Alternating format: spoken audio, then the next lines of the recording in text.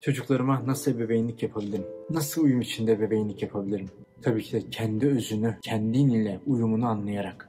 Size şunu demek istiyorum. Kendinizi bu durumdan kurtarın. Çünkü öncelikle mükemmel ebeveyn olmanız mümkün değil. Bunu anlayın. Biri sana kolay diyorsa bil ki yalan söylüyordur. Hepiniz çocuğunuzdan ihtiyacınız olanı alacaksınız. Ebeveyn olan herkes hata yapabiliyor. Bazen çocukları masum görüyoruz, bazen görmüyoruz. Onları hayatın ebedi yaratıcıları olarak görmüyoruz bazen de. Bazen sizlerin onlardan önce gelmeniz hiç fark yaratmıyor. Sen bu gerçekliğin genişlemesine katkı sağlamak için geliyorsun. Aynı onların da yaptığı gibi. En büyük yapılan hata ne biliyor musun? Evrenin rolünü yani evrenin nasıl yapması gereken rolü siz kendinize bir kaftan bir biçiyorsunuz. Kendinize biçiyorsunuz. Sanki bir tanrı rolüne bürünerek sanki çocuklarınızın üzerinde bir tanrıymış gibi bir rol biçinerek öyle davranıyorsunuz. Biz onların hayatlarının tanrıları olmak istemiyoruz. Rehberleri olmak istiyoruz. Çocuklarınız da tıpkı sizin gibi güçlü yaratıcılar öğrenmek için geliyorlar. Asıl ama çocuğu giydirmek, ev vermek, sıcak bir yuva vermek, giydirmek bunlar değil. Siz bunu çocuğunuz için değil, kendiniz iyi hissettiğiniz için yaparsınız temelde. Yani aslında bebeğin olarak asıl göreviniz bu değil. Unutmayın, öğretmenin bir yolu yok öğretmek zaten yolun ta kendisidir. Örneğin evrenle özünüzle yanlış bir hizalanmış olmanız, onların çocukların hayatında da yanlış hizalanmalarını öğretebilirsiniz. Kendi benliklerinin dışarısında güvenlik oluşmasına sebep olabilirsiniz. Bunun tam tersi evrenle ahenk olan, evrenle bir olan ebeveynlerde tam tersi çocuklarını çok güzel bir şekilde kendi benliklerini yaratarak kendileriyle, özleriyle, evrenle bir dans edercesine ahenkle büyütmesine sebep olabilirler. Eğer çocuğuna kendi öz benliğiyle, kendi ruhani benliğiyle uyum içinde kalmasını öğretirsen isyan yerine özgür olmayı öğretirsin çocuğuna. İşte artık bunun için yani çocukların için karar vermene gerek yok. Kalmaz. İşte çocuklarınızın için yapabileceğiniz en güzel hediyedir bu. Çocuklarınızın sizin mutluluğunuzun veya mutsuzluğunuzun temeli olmasını beklemeyin. Bu onların yetişkin olduklarında mutluluğunun veya mutsuzluğunun dışarıdaki kişilere bağlı olmasını öğretir. Başka bir şey değil. Ayrıca başkalarının mutluluğunun veya mutsuzluğunun kendi sorumluluklarında olduğunu da öğretebilir. İşte bunlar kronik olarak yetişkin bir, mutsuz bir yetişkin yetiştirmek için yeterli sebeplerdir. Hepimiz yüzleşelim. Hepimiz çocuğumuzun mutlu bir geleceğe sahip olmasını istiyoruz. Mutlu yaşamaları, mutlu büyümeleri. Ama çoğu ebeveyn çocuklarını büyütürken ceza ödül sistemine göre yönetiyor. İşte bunun sebebi de yani şu anki bulunduğumuz toplumdaki ceza ödül sisteminin sebebi de aileden gelen bu cezalandırma, ödül verme sistemi. Yani aslında biz çocuklarımız farkında olmadan direniş, isyan üzerine bilinçsizce eğitiyoruz. Ama çocuğu hiçbir zaman hiçbir şekilde cezalandıramazsın. Nasıl iyi bir ebeveyn olabilirsin? Size bir liste vereceğim. Bir, çocuğunuzu kendisinin benlik algısından, benlik kavramından mahrum kalmasına sebep olun. Çocuğunuzda hata bulmayın. Çocuğunuzu eleştirmeyin. Her şeyi onlar için yapmayın. Bırakın çocuklarınız da kendi seçimlerini yapsın. Bizler onların adına düşünemeyiz. Onların yerine düşünerek onların da yetişkin bir birey, yetişkin bir toplum oluşturmasını, bilinçli bir toplum, kendi başına düşünen bireyler olmasını bekleyemezsiniz. Sonuçları yani yapılan çocuklarınızla birlikte yapılan sonuçları Çocuklarınızın yaptığı sonuçları ceza ile karıştırmayın. Sonuçları yüzünden ona ders vermeye çalışmayın. Cezalandırmayın. Ödül de vermeyin. Sonuç ile ceza arasındaki ilişkiye bir örnek vereceğim. 3 yaşındaki çocuk kamyonuyla oynuyor. Kamyonuyla oynarken yan komşunun köpeğini o oyuncak kamyonuna çarpıyor ve onun köpeği yaralanıyor örnek veriyorum. Ona ceza vermek yerine empati yaparak çocuğuna o kamyonu alırsın.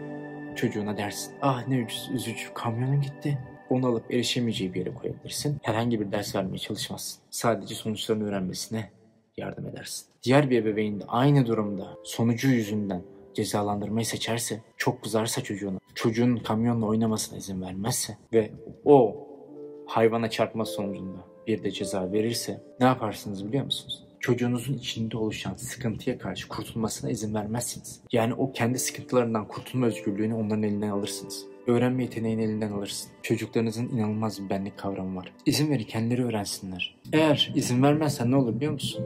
Kendi problemlerini çözemeyen ev, çocuklar büyürler. İleride sürekli kızan ebeveynlerin büyüdüğü çocuklar da kendi problemlerini çözemez hale gelir. Çocuklarınızın problemlerini çözmesine yardım edebilirsiniz ama onlar için çözemezsiniz. Çocuklarınız yani yeni doğmuş bebekler, bebekleriniz sizi manipüle edebilir biliyor musun? Hani bazen ebeveynler diyor ki çocuk daha aklı başında değil de anlayacak yaşta değil diyorsunuz ama seni çok güzel manipüle ediyor. Çocuklar bir yaşında ihtiyaçların karşılanması için ağlarlar. İhtiyaçları yani şımartılma ya da doyurulma gibi ihtiyaçları karşılanmazsa o zaman güven sistemini baltalarsın. Bunu yapmalısın. Eğer yani basit ihtiyaçlarını veriyorsan bu normaldir. Ama bunu seni manipüle etmek için kullanıyorsa ve sen de ona izin veriyorsan o zaman yaşı yapılabilecek en kötü şey yapılıyordur. İşte ebeveyn olarak o ikisi arasındaki farkı bilmen lazım. Manipüle etmek için ağlıyorsa istediği bir şeyi vermen için veya normal ihtiyaçları, temel ihtiyaçları karşılanmıyorsa. Zaten o ikisi arasındaki farkı bilinçli bir ebeveyn, bilinçli bir ebeveyn bilecektir. Çocuğunuzun rehberi olun, diktatörü değil. Daha önce dediğim gibi çocuğunuz her şeyden kurtarmaya çalışmayın. Bundan dolayı çocuğunuz kendilerini sürekli, kendilerine sürekli güçsüz hissederler. Bu da toplumlarda oluşan güçsüzlüğün sebebi olabilir.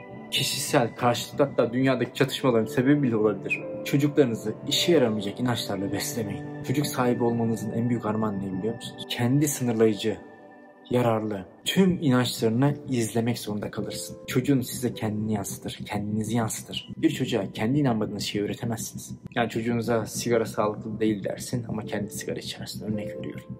Örneğin çocuğuna bir şey yapabileceğini söylüyorsun. İnanmasını istiyorsun. Yani bir çocuğa bir şey inanmasını istiyorsan ona inanmaması için telkinlerde bulunmazsın. İnanması için güzel örnekler verirsin. Sürekli tekrar edersin değil mi? Ve onda inancın temellerini atarsın. Yani inanmadığınız bir inançtan çok kendi gerçekten inandığınız inançları verebilirsiniz. Yani onlara bir şey inanmayıp farklı bir şey veremezsin. Mesela çocuğa diyorsun ki kendi bolluğunun farkına var, zenginliğin farkına var. Her şeyi sen yapabilirsin dersin.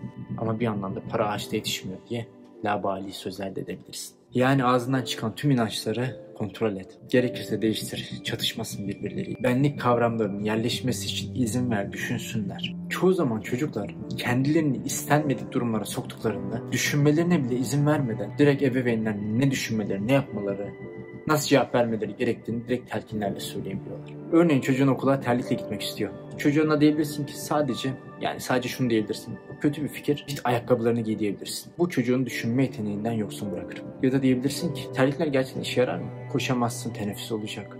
Ya da hava kötü olur, ayakların su altında kalabilir, düşebilirsin, kayıp. Sonra izin ver, seçenek ver, düşünsünler. Ama düşündükten sonra gene ısrarla gitmek istiyorsa izin ver gitsin, öğrensin, düşünsün.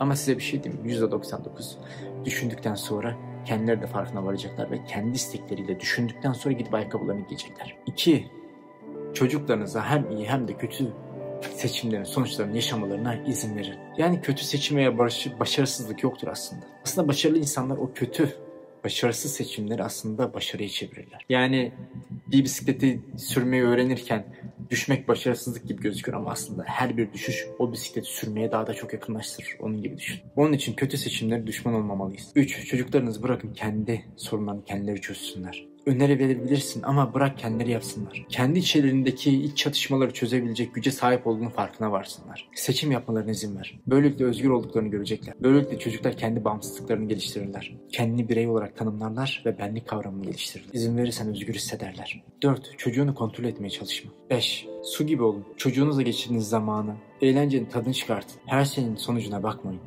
akışta kalın. Yani bir sonuca varmak yerine o yolda kalın tadını çıkarın bu kadar. Tecrübenin tadına çıkarın bu kadar. Böylelikle negatiflik yerine pozitif odaklanırsın. Böylelikle sana pozitif bir bakış açısı kazandıracaktır ve çocuğuna da. Bakın çocuklarınız sizin gibi evrensel bilincin genişlemesine yardım ediyor. Aslında çocuklarınız sizin kendi bilincinizin gelişlemesine yardım ediyor. Bir ayna misali. Her şey seni aynalıyor, yansıtıyor. Hatta senin içinde çocuğu çıkarmalarına bile sebep oluyor çocuklar. Çünkü hepimiz içinde bir çocuk var. Hiç değişmeyen. Belki birkaç parçaya bölünmüş. Tüm yetişkinlerde. Çocuklar bizim gelişmemize sebep olur. İçinizdeki çocuğa dışınızdaki çocuğunuz aracılığıyla bakın. Örneğin çocuğunda bir problem görüyorsundur ama aslında çocuğunda problem yoktur. Kendinde problem vardır. Böylelikle bunu anlarsın, kendini anlarsın, kendini özgürleştirirsin. Çünkü sen değişiyorsun, sen değişen, ilk başta değişen senle birlikte her şey değişir.